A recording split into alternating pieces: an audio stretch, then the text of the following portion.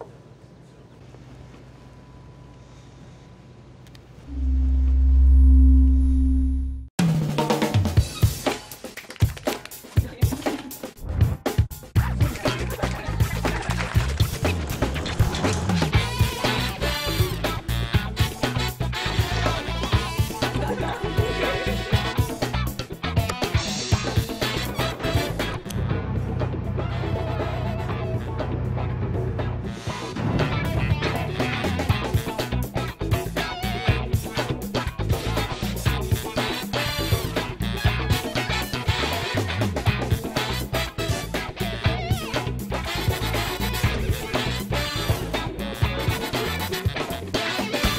Dámy a páni, Jan Kraus!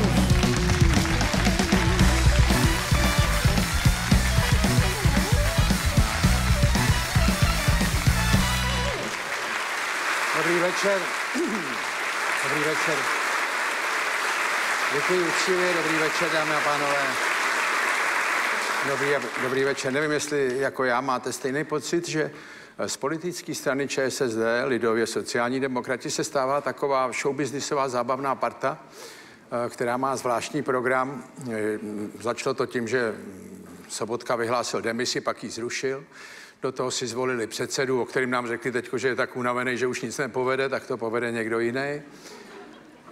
A úplný vrchol je, že na Ostravě se teď sčítají na Ostravsku, protože asi nevědí, kolik jich je. Eh, Myslím si, že časem mají šanci na to dělat něco zábavného. A do toho mě samozřejmě zaujalo, jak třetí muž ve státě, pan Štěch, který je taky z ČSSD, řekl, že těm osobám samostatně výdělečně činem by se měli zvednout odvody, aby prostě se zaměstnali, protože jsou často zaměstnaný pod OSVČ, tedy takzvaně pracují na fakturu v oblastech třeba, kde nemají.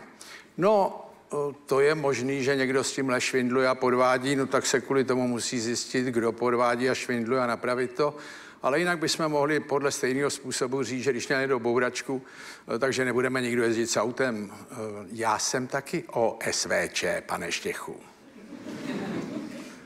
A druhá věc je, on říká zvednout odvody těm osobám samostatně vydělečně činem, ono je to obráceně. Ty firmy mají tak vysoký odvody na zaměstnance, že radši než zaměstnance si vezmou někoho falešně jako OSVČ, protože u nás ty odvody na zaměstnance jsou ohromně vysoký a e, ty firmy samozřejmě tu cenu práce nehodlají platit. Takže to je taková politická rada zdarma, kterou dávám všem sociálním demokratům. A pak jsem se podíval jenom na začátek toho jejich programu, já to nemůžu číst, ty politické programy žádné strany, to jsou vždycky bajky o nebi na zemi. Ale zaujal mě i ten kousek, jak je plný takový tý zlostný nenávisti k bohatým. A ono to není ani k bohatým, ale k těm, co jsou, jako bych řekl, úspěšný. A já si myslím, že v Česku lidem bohatý člověk, který zbohatnul poctivě, opravdu nevadí. Problém je, že máme řadu bohatých, o kterých víme, že zbohatli neregulérně a to nás samozřejmě rozčiluje.